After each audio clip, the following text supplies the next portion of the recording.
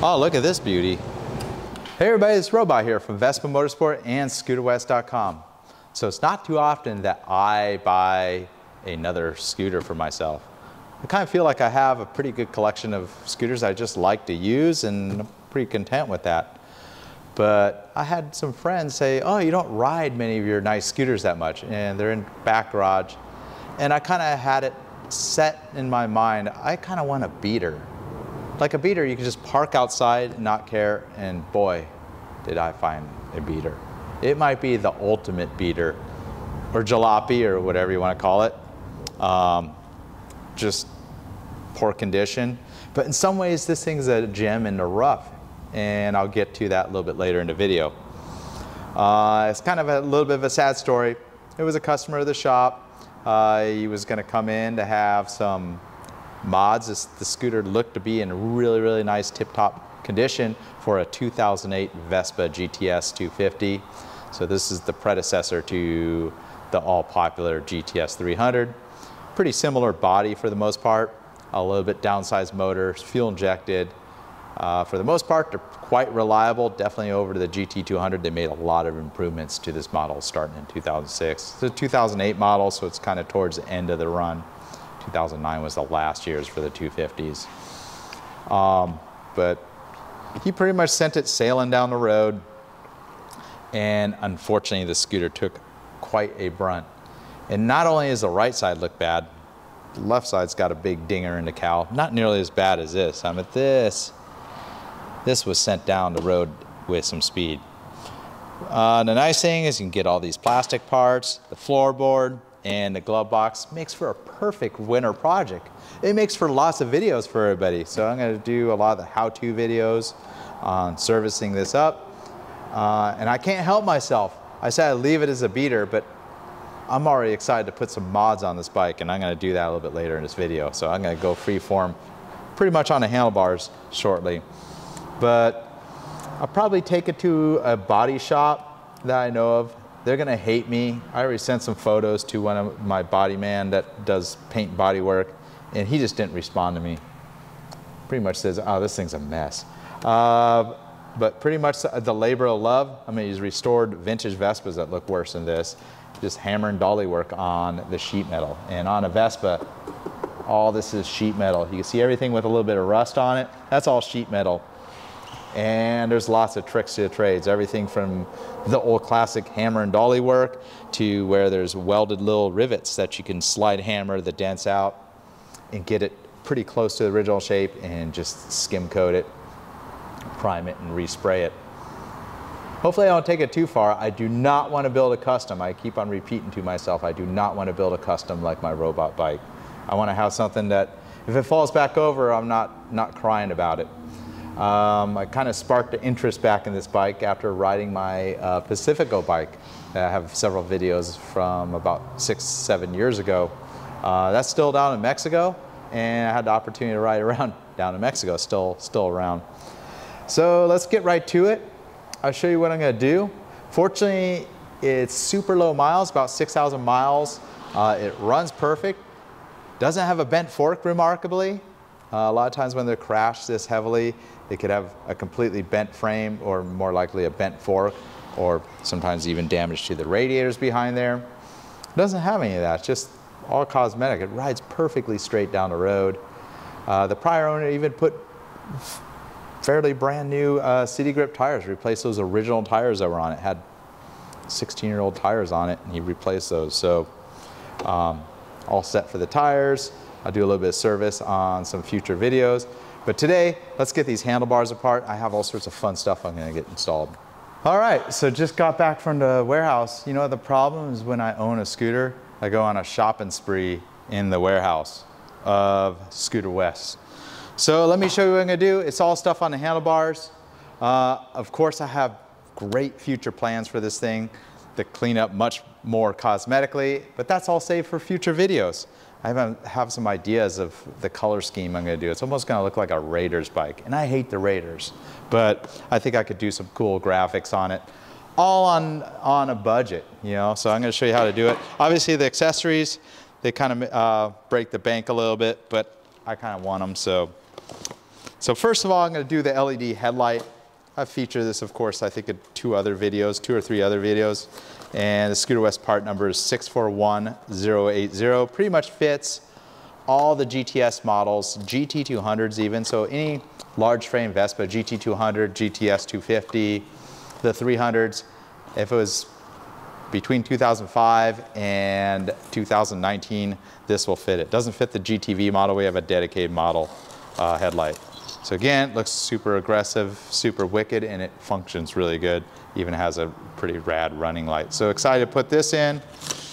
So we got the headlight. Uh, gotta get rid of those stock hard grips on there. I thought about doing heated grips, but um, go a little bit more low budget. The heat grips cost, cost them. I'm already spending an arm and leg on the headlight. So we're gonna do the black Vans grips. Just search Vans grips on the Scooter West web store. There's so many different colors. Uh, I want to put the bar in, so we're going to actually cut the ends out. But they're, I think they're a pretty cool style. Pretty excited to put those on this. Uh, next part we're going to put on is some black levers. I could do the, the most popular option is our powder coated stock black levers. I'm just going to go one step above. Not the adjustable levers. Those are kind of out of my budget today. But I'm going to do the machined aluminum pair of black levers. So they're black anodized, so they're very durable. It's not a powder coat finish. Uh, 497042-BZBK. And they pretty much are patterned after stock, but they look a lot cooler. Got some engraving in there and such. So we'll put those on when we have the handlebars all apart. A uh, pair of black bar end weights to replace the slightly corroded um, chrome ones. Scooter West part number 582034BK, you'll need a pair of them. Uh, if you're looking for the larger ones, I think they're part number 599399-BK. You can find the larger bar end weights that come with the top case. A lot of people go for those ones. Um, there's a couple problems with the scooter. First of all, the horn switch is just straight missing because sometimes when you wreck a scooter, your knees or clothing catches the switches and breaks them. Uh, also, the turn signal switch just kind of works from time to time. This scooter has always been close to the coast. I could see some of the minor corrosion on the brake caliper and the um, center stand.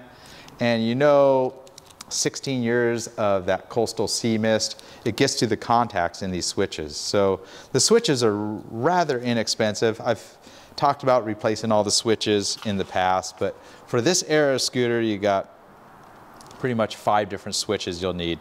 Uh, the turn signal switch being 294723, original Piaggio part. Uh, the horn button, which is straight missing, the square style one, which is right there. And that's part number 641358. Start button, might as well replace that too. Don't want to get uh, stranded because the start button starts to fail. Uh, 638975. And we'll do the kill switch, and also the headlight switch 294877. Kill switch is working fine, but it's pretty inexpensive. We're in there, you put a nice brand new one, it's nice and juicy red, looks all nice and new. So put those all in. And the last two items I'm gonna do, somebody already put one of the Scooter West uh, cigarette lighter or 12 volt outlets. It's not very useful in this day of age, but most of the parts are there. You already got the, the, the kneecap uh, we're just going to go ahead and drill the hole a little bit larger. We have this available, PP9. It's got the USB um, Type-C quick charge, so it's perfect for charging a phone. And the last thing I'm going to put on, it's a new product that we're going to start carrying at Scooter West. Um, so it's the SP Connect Mirror Mount Pro. And this works excellent on the Vespa mirror stems. Uh, it's a little more tidy than the Ram, uh, the downside is you do need a specific case or you could use one of their holders or pouches to hold the phone. And again, just look out for future videos. I'll talk about all these new products. But the part number for the Mirror Mount Pro is 06360280. And we'll get those on the Scooter West website. There's also a lower end mirror mount. Um, that's actually the, used as the original OEM Piaggio Vespa phone solution that's a little bit tidier. It's made of plastic, but the Mirror Mount Pro is only a little bit, a little bit more costly. It's made of metal. It's really, really high quality.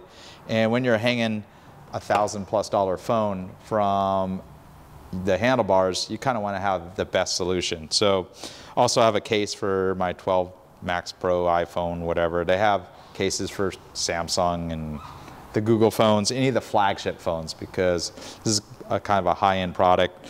But the case for this phone, you're looking at 06360221. So it doesn't include the phone, but have a pretty sweet case that's also, I'll show you in future videos that will uh, charge through the QI or the MagSafe, which is really, really neat. So the last thing I put on is OEM pattern black mirrors. We have so many different mirror options available for the Vespa GTS. Um, these are just patterned after the stock ones. Maybe I'm just conservative. The round look works good with the Vespa and um, I kind of like the length. I would maybe want shorter ones because I like lane splitting sometimes and filtering. Here in California, you're allowed to do that. But I do like seeing past my shoulder. So I tell you the, the stock style mirrors are always the best for that. CM073404-BK is the black pair of mirrors that we have available. All right, so let's get right to it. This whole video is gonna be sped up quite a bit. It's because there's so many different accessories. Of course, you can look in the past. I have lots of detailed videos of how to install each of these accessories. Um, but we got to get the rack out of the way. So we put this pretty nice original Piaggio rack, but it's got some pitting. Either steel wool it, but I think ultimately is what I'm going to do with it is uh, go send it out for powder coat. Um, you know, ideally you just buy a new rack that's already factory powder coated, a really nice finish from Vespa already, or you buy chrome if that's the style you're looking for. But I think I'm going to switch this this scooter up a bit, kind of give it a more sporty appearance. Um, and like I said, probably gonna end up looking like a Raiders bike with black and silver, but you know, this is what I got to work with. I'm on a budget. This is what I'm using here. And this is my winter project. So get the rack out of the way and then we'll just, just dismantle the handlebars. So you're wondering why I'm strategically replacing a lot of these parts. This headlight's been kissed by the road. Uh, there's pitting in there. You can see all the pitting. The headlight actually just doesn't work that well. You got bent levers. You got scraped up mirrors that are bent in, and then the switches that are busted out. So might as well just replace all those parts with up, upgraded parts.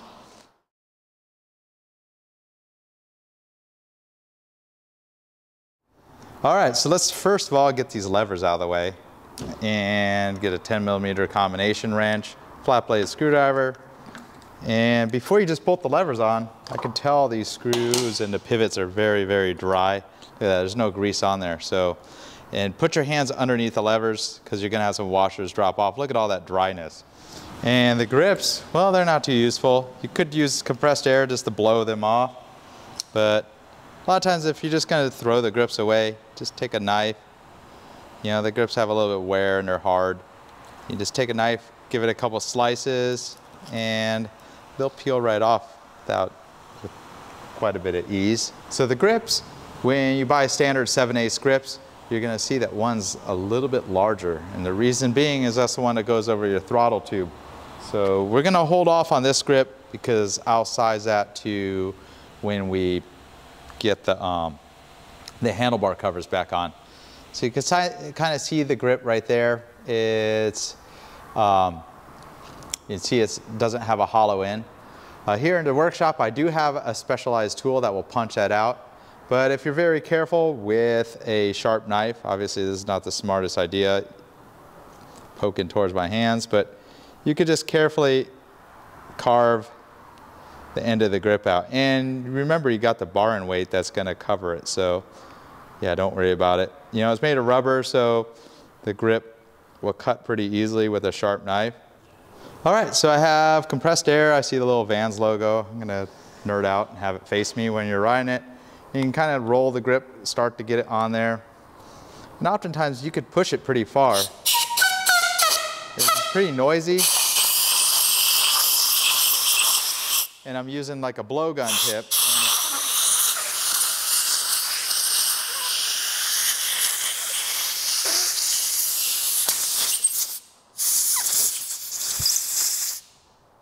We're pretty close, so. nice and free and it's on there pretty, pretty nice. And if you want to rotate it, you can still get the, just a little compressed air will kind of um, allow you to rotate the grip or even pull a little bit closer. But it looks pretty good right there. And we'll be able to put the black bar end weight and we'll cover up that cut in. Looks good, nice and tight on there. And like I said, I'll come back to this one a little bit later. Uh, while you got the compressed air, kind of Probably should be wearing safety glasses doing that.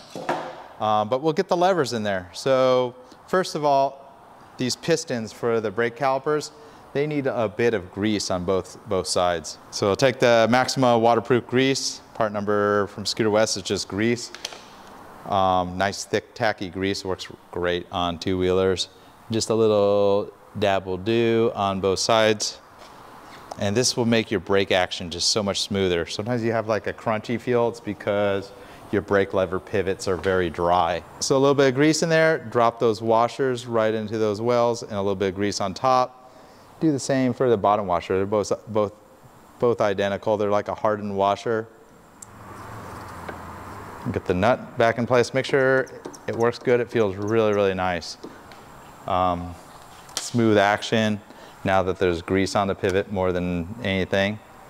And while you're at it, make sure your brake light switches work. Uh, sometimes corrosion kind of takes those out over time or they just fail. And I've covered the brake light switches in the past. There's two different types for the Vespas. Even without the dash on, we'll be able to turn the bike on. You see the brake lights on, you could actually push the piston in. Make sure this one's working. There's one more thing I'm gonna grease before we put together. Uh, when I was riding, the speedometer needle just flutters. It looks like a, a wagging dog tail. And it's usually because the cable, it's not broken, there's just no grease. See, I just pulled it right out. And it's got the kind of square end on the bottom. Just take a small amount of grease. You don't need much. Kind of should be wearing gloves for all this. And pretty much the whole length, just put a really thin coat. And towards the top, sometimes I say don't put too much grease towards the top. I put a small amount um, because sometimes it will wick its way up into the speedometer assembly. And to put that back in, you thread this through. Obviously, if the cable's broken, uh, you're gonna need to go a little bit further and replace the whole cable. And I'd always recommend just replacing the whole housing and this inner cable that spins. So these old school sco scooters, that don't have electronic speedometer sensors, uh, they use, that mechanical cable spins and that's what um, turns the speedometer and ticks over the odometer. Go ahead and replace the headlight assembly, pretty straightforward. Remove these big long self-tapping screws that thread into the plastic. Pretty easy and straightforward. And we'll just replace this whole entire assembly with that LED assembly.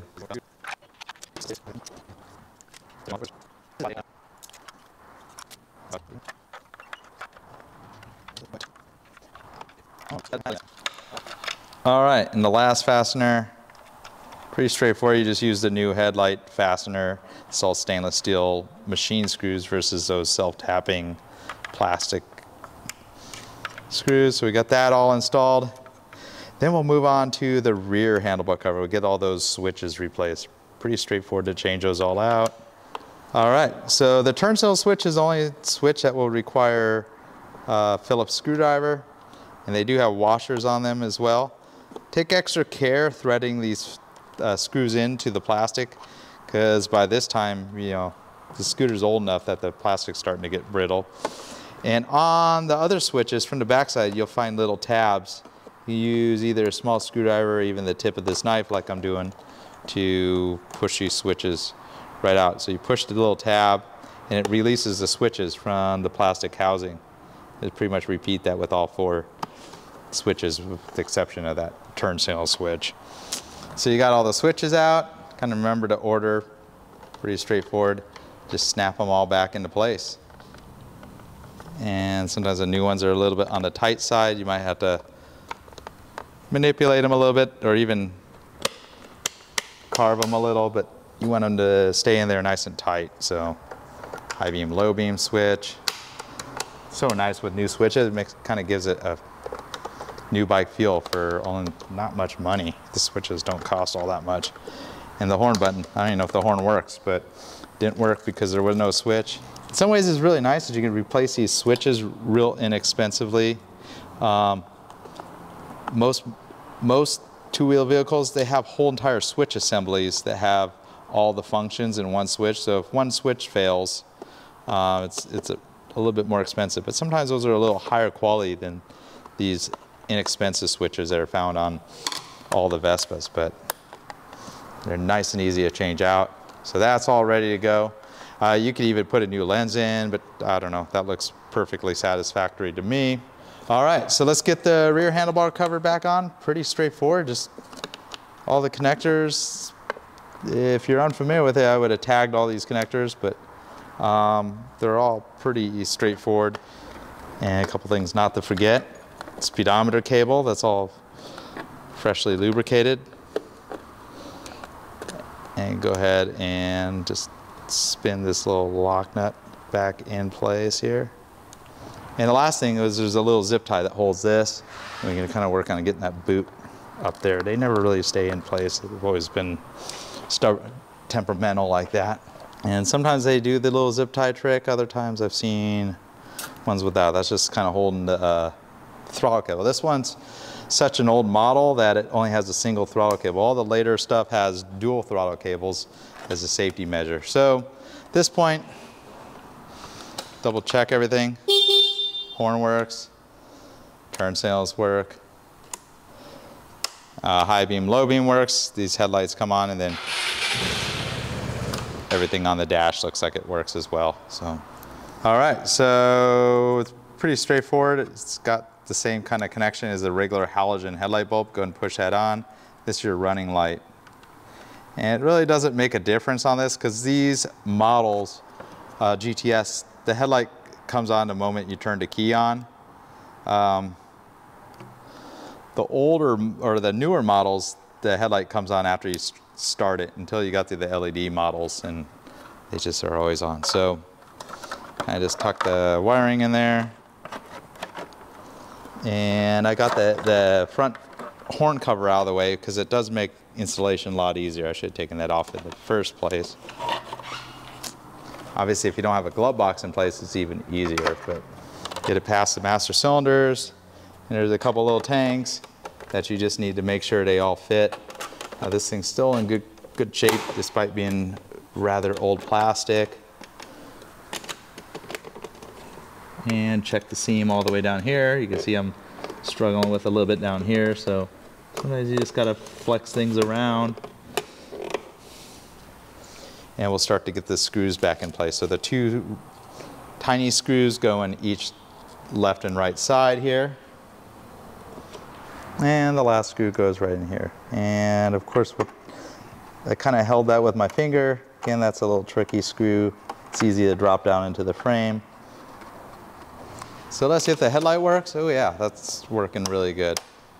High beam, low beam. So the reason I say this grip for last is because I want to have the grip stop right at the um, at the plastic of the handlebar. So it's hard to judge that point until you get the handlebar covers on. So I got the grip ends cut out and we got a tube of grip glue and on the Scooter West web store it's Tool GG, so all one word, Tool GG. And it's kind of like pig snot, as I like to call it. You got to puncture the end. Obviously, you got to use this up, so you can't really let it sit around for a year. Typically, you want to put some of it in the grip. Just on the side that goes in. And then it's kind of like a lubricant at first. And then it dries up, obviously, the glue the grip. And you don't want to get too crazy with it because it will drip all over your bodywork. Not too concerned with this one, but if it was a customer's bike that was really nice, I would probably put towels over everything. And oftentimes you could just push it on. And if you're gonna have a little bit of trouble with it, just take your compressed air and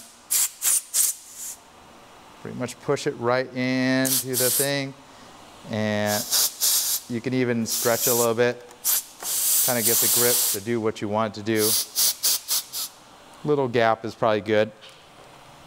And the excess glue or pig's snot, just wipe that right out of the end there. So I'll put the new bar end weights and go ahead and put the screw in. So on these older GTSs, they have these brake reservoir covers. This is something they eliminated on the later ones to make a much more streamlined look. Um, they're very fragile, these little clips here, and same with the little tab here. But you get easy access to the brake fluid reservoir if needed. Um, depending on the types of mirrors, if you have the original mirrors, you're gonna need to pull these up and then tighten the mirror down. I'm gonna put a newer style mirror that has a longer, um, the nut that tightens down actually protrudes above the, these reservoir covers, so we're able to put them in. I prefer that style because you could easily tighten the mirror without removing these covers here that are rather fragile. So put those two screws back in, get these back in place. We know all the lights, everything works. There's no reason to take it all back apart, at least anytime soon. Don't worry, I'll have this thing back apart probably in a week or two for a video, of course. We'll get the mirror head right above the grip. Right about there is a good spot for it. And then these little covers, we'll just kind of hold it right back in place. Could also trim them a little bit. I'll work on them a little bit more, make them fit a little nicer later time. There's one more little mod I want to do just before I put the horn cover on. Probably one of the cooler things about these 250s, they had that the horn cover running light. I always thought that looked really cool. And currently it's incandescent, just a standard bulb. I'll plug it back in and the color temperature is not gonna be very well suited to what the headlight is. So, ah, let's see, it's just straight burned out. Incandescent bulb here. So, gonna pull the bulb out. So I put a new bulb in. This circuit is the same circuit as your taillight. My taillight is working fine, but I'm not getting power out of this. So guess what? The adventures of owning an old crusty scooter. So let's check it out and see what's uh, going on. All right, I gave up on that connector. I just found another one and crimped it in place. This one seems to be staying nice and reliable. Look at that, very bright. You can kind of change the angle of it. And we'll just get the handlebar cover back in. Nice thing about these LEDs, they can run for a while and they're not going to drain your battery.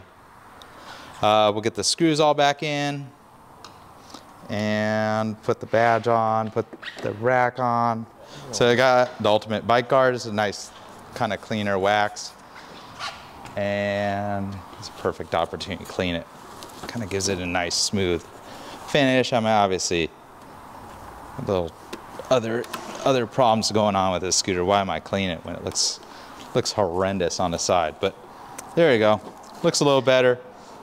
Just if I'm gonna put the um, the rack back in place, this will look nice under there.